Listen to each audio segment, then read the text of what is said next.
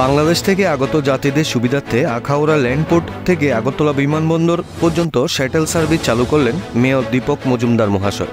দু হাজার তেরো সালে সতেরোই নভেম্বর প্রতিবেশী রাষ্ট্র বাংলাদেশের সঙ্গে প্রথম উত্তর পূর্বাঞ্চলের প্রথম এবং ভারতের দ্বিতীয় ল্যান্ডপোর্ট আগরতলা আখাউড়া যাত্রা শুরু করে। আজ যা দশ বছর পূর্ণ করে এগারো বছরে পা দিল। দশ বছর পূর্তি উপলক্ষে আজ আখাউড়া ল্যান্ডপোর্টে এক সংক্ষিপ্ত অনুষ্ঠানের আয়োজন করা হয়। এই অনুষ্ঠানে প্রধান অতিথি হিসাবে উপস্থিত ছিলেন আগরতলার পুর নিগমের মেয়র দীপক মজুমদার মহাশয়।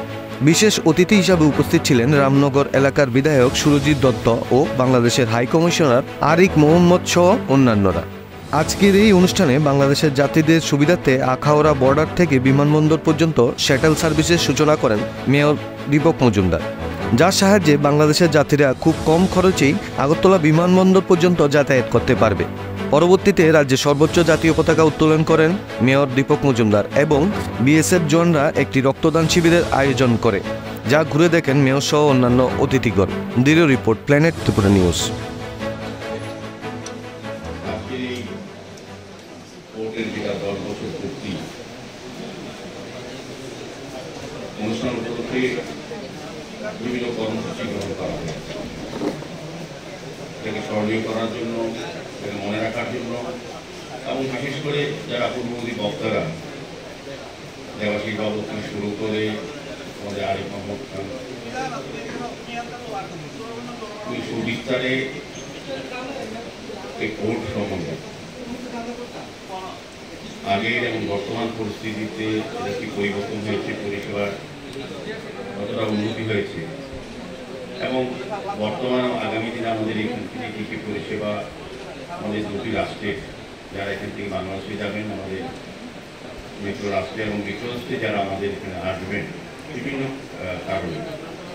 এবং উল্লেখ করেছেন দেবাশিস বাবু, আমার ভালো লেগেছে। যে যখন এটা শুরু হয়েছিল, তখন বছরে প্রায় তিরিশ, চল্লিশ হাজার ওই দেশ থেকে এই দেশে বা এই দেশ থেকে ওই দেশে যাতায়াত করা হতো এই ল্যান্ডকে ব্যবহার। করে। আর এতটা উন্নত পরিষেবা পরিকাঠামো তৈরি হয়েছে। যে এখন প্রতি মাসে প্রায় চল্লিশ হাজার